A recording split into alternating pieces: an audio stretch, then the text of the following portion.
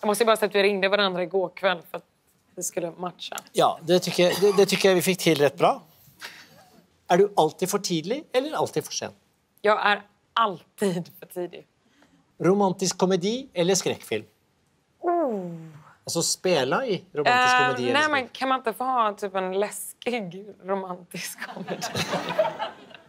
Spara eller slösa? Mm, spara. Evig kärlek eller många spännande förhållanden? Jag är som romantiker. Evig kärlek. Ja, det kan vara rätt romantiskt med många spännande förhållanden också, i och för sig. Slåss eller springa så fort du kan? Slåss.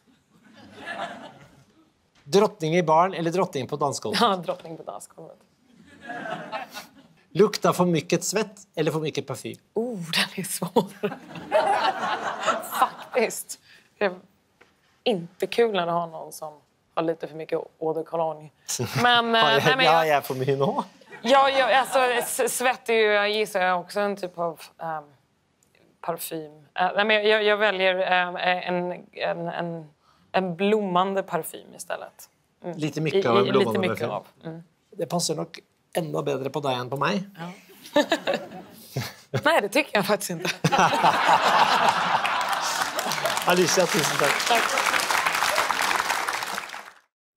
Hope you enjoyed the clip. For more interesting conversations, please hit subscribe.